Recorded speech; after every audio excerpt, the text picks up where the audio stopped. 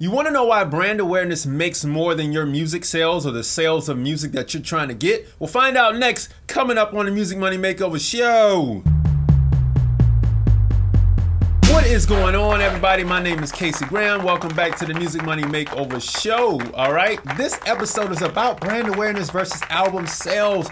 And I want to show you all the difference between the album sales and the brand awareness and what really matters and what you're actually doing when you create your albums or your music or your beats or whatever it is you're doing online. All right. Today's numbers are going to be about the uh, Apple Music sales, all right, or the iTunes sales. We're not going to say Apple Music. We have to use the correct term.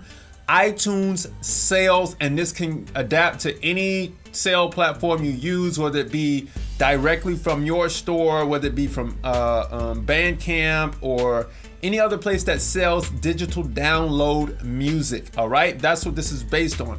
Follow these numbers here. All right, so if we use iTunes and we want to get to a magical million dollar number because that's where everybody wants to get to first. I want to make a million dollars, right? That's the number out of the hat. Well, then we're going to look at what Apple takes. So if we're going to sell a 99 cent single, and I'm not going to break all the royalties down, we're just going to do Apple's cut.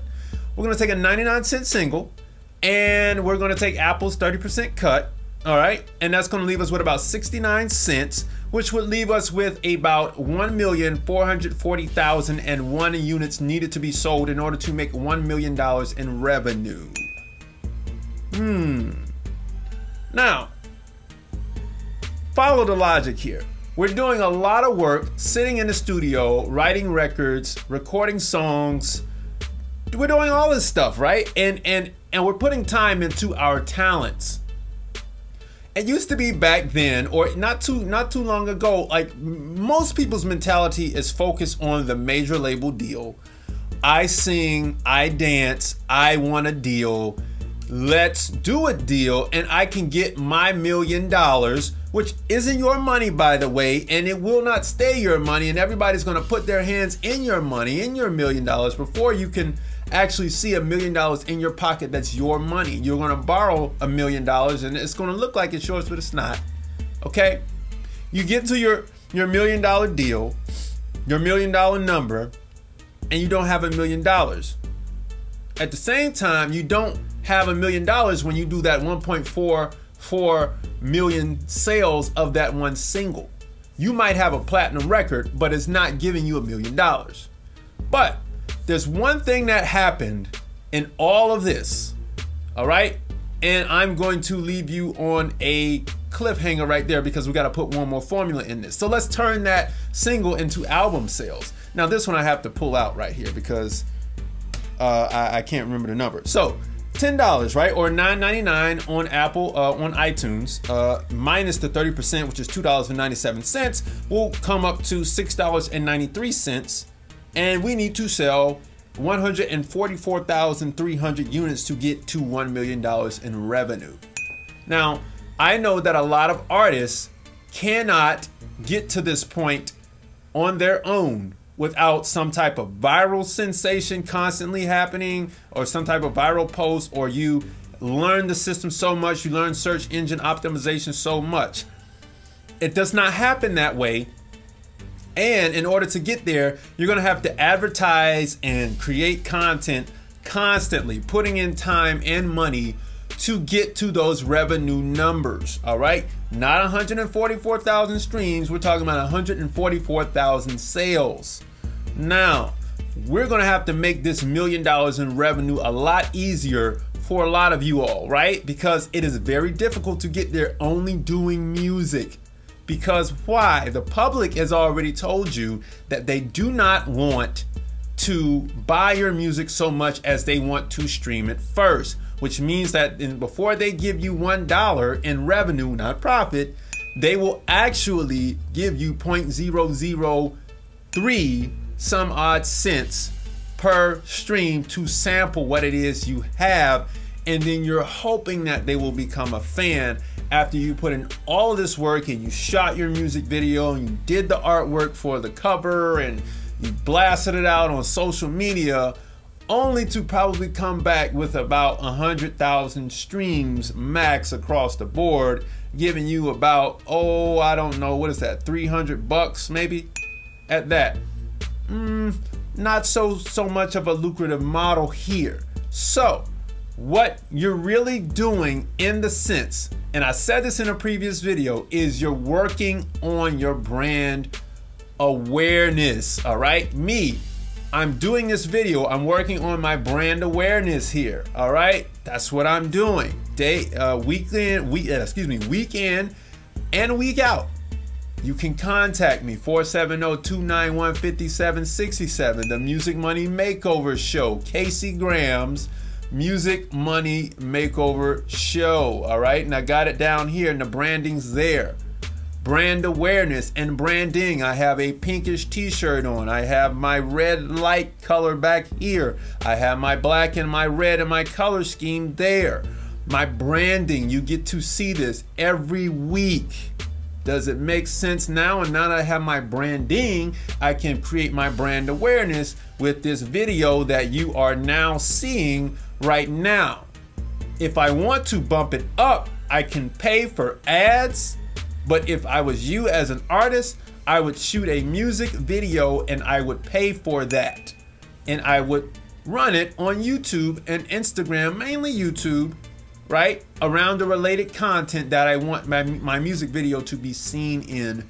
Now, creatively paying for brand awareness. That's what we're doing to increase our brand alongside consistently creating content.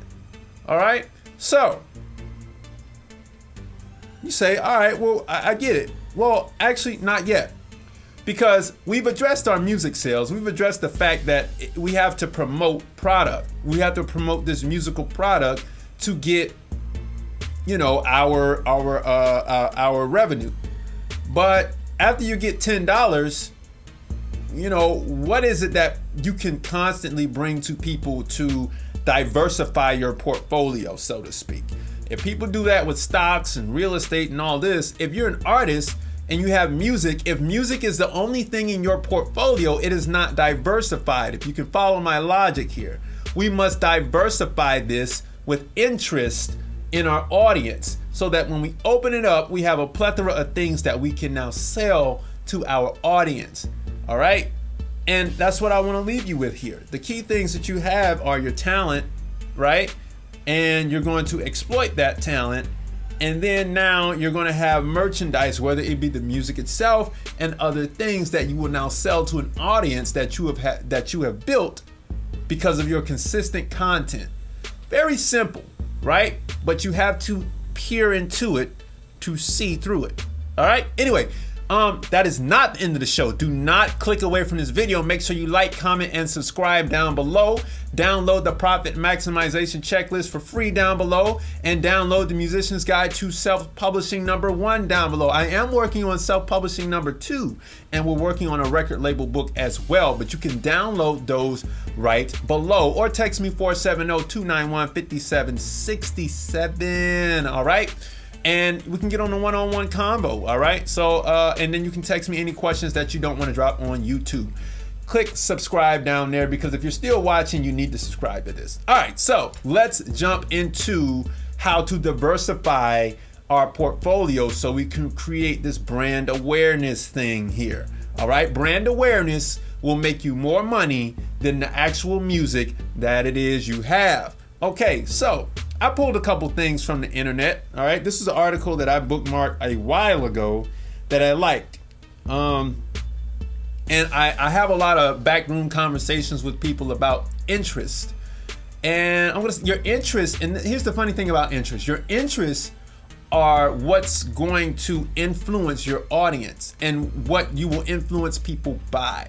So here are a couple basic uh, interests that do well on YouTube and then you'll see that a lot of people fall into this. All right, so check it out makeup, gaming, food and nutrition, fitness, tech, travel, fashion, sports, animals, humor, comedy, you know, uh, photography, music, hair care, home, health, and wellness. Now, I'm gonna plug a, a, a documentary that I like here because it kind of shows how to utilize a common interest to pull in customers. All right, this is a documentary that I really love. It's called How to Make Money Selling Drugs. Okay? Yes, it's it's really a documentary for that. I'll put it I'll put the poster right here. Okay? In the beginning of that movie, um, there's a guy he's saying that if you have weed, right? All you have to do if you want to get some sales on weed, roll it up, spark it up, smoke it, and eventually somebody will say, "Hey man, what's up? Pass it around, but something. Let me hit that. Where you get this from? Yo, you need something? Yeah, man. Let me. What's up? What's the price on it?" And immediately, like that, the common interest of the weed has now produced a customer. All right. Here's a common thing for all you beat makers to build brand awareness. Follow this. If I went to Guitar Center, which a lot of you all do, and you take your beats up there every day, right? Maybe the weekend, and you play your beats over the speakers, okay? Somebody gonna say, "Yo, that's dope. That's fly." Man, what, you you got a you got a SoundCloud, you got a what's up? You got a YouTube, Instagram, whatever. Let's just collab. You know, you have a customer. If you go into Guitar Center and you play on the keys, yo, what's up, man? That's, that's fly. I like that. I like what you're doing. You want to collab? You want to? How, how? What do you do? You're networking. You're building your customer base. If you make a beat on the MPCs or beat machines there, somebody will say, "Hey, man, I like that. I like what you got going on. What's up?" All right. It's the same concept. If you go, let's say you go to a beauty store for all the ladies out there and you got your face beat looking fly, all of that. And you go in there, oh my gosh, who did your makeup? Oh girl, that's so that's amazing. Right? I, you got what? I did it myself. What you did? You gotta show me some tricks, girl. La la la blah blah. Well, let's hook up. Blah blah. Common interests will now be your influence. So music is great. If you want to influence people with music, you have to be in a place where people want to hear that music. And it, music is not the easiest thing to sell, but common interests are. And you could sell music all day, but it's very, very difficult to bring in a customer of new music because there is so much of it out there, right? Versus the common interest of things that you need every day. Imagine this now. If I make music and I like to cook, which shout out to Archie Beats. I'm gonna drop Archie Beats, uh, his his YouTube right here, and you can go check him out. But he's a cook, right? But he's a, a awesome musician, and those are his two interests: food and music. So he has two pulls. He has his talent, and then he has his. Uh, other interest, which is food and knowing how to cook. So he can pull in two different audiences at the same time, building brand awareness of his whole persona. And that's what I want you to understand is that your music is that tiny little piece right here in the in the whole, in the all of everything. Okay? All right? Now I know this video today was a bit of a rambling, but I wanted to come and just kind of give a message. I didn't want to structure it too too much today. I wanted to be straightforward and frank. And I think that if I could be like this for a lot of you all, then maybe you could get the inspiration to do something more so than just, you know, understanding contracts, this, that, and the third, which I do. I do have a video coming up on contracts. Uh, shout out to the person who requested me to do a beat license agreement video and I told him I would do one based off the BeatStars agreement. So that's coming. All right. Download the profit maximization checklist below.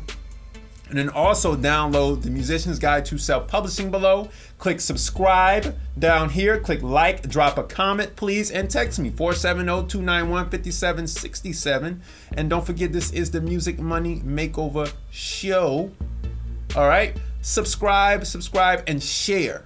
All right. I know I give a lot of information and people think that it's like, it's like what I think. They say, oh man, you helped me so much. But please share the show. I, that's, that's why I do it. Please share, share, share, playlist it, all that stuff. Anyway, I will see you all next week. Peace.